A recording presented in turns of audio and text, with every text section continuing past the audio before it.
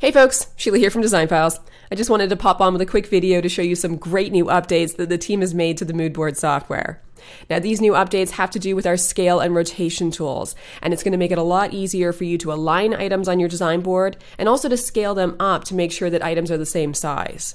So if you wanted to create a color scheme down the side of your design board here and you want each paint swatch to be the exact same size, these new updates are going to make that quick and easy. Now, if you've been with design files for a while, you've probably noticed that when you select an item on your design board, four blue corners appear around that item. And sometimes those blue corners could get in the way when you were trying to align the edge of an item with the edge of another item on your design board.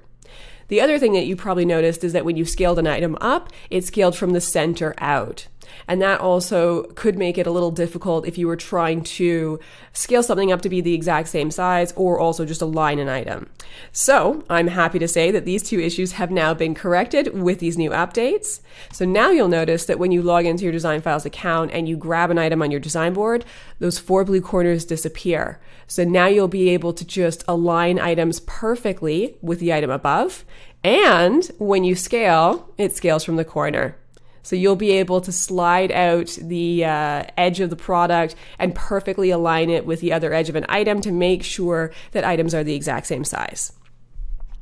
You'll also see the grid lines appear, so you'll know that your items are perfectly in line. And if you want, you can just kind of slide that item down and give it a little bit of space. Now, when you're shifting an item around, you can also use the left, right, and up, down arrows on your keyboard to shift it one pixel at a time and get everything perfectly aligned. So I'm going to go ahead and grab this next paint swatch here. I'm going to line it up, scale it out. There it is.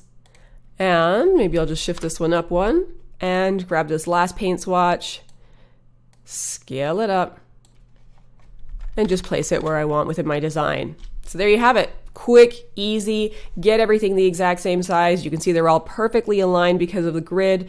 Um, and it's going to make it a lot easier for you to just line things up, get everything to the exact size that you want. You could also use this feature if you're creating a gallery wall and you just want to make sure all the art pieces are lined up or for any other items when you are using or when you're creating your design board. The other thing that I'll bring to your attention is that you also have a new feature when you're rotating the item around. You'll see the degrees that you've rotated it at.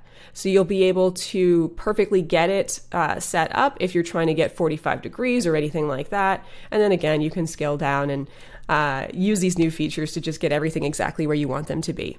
So definitely pop into your Design Files account. Give these new features a try. I think it's going to make it a lot easier for you to quickly put together your design boards and definitely let us know what you think. Thanks for watching.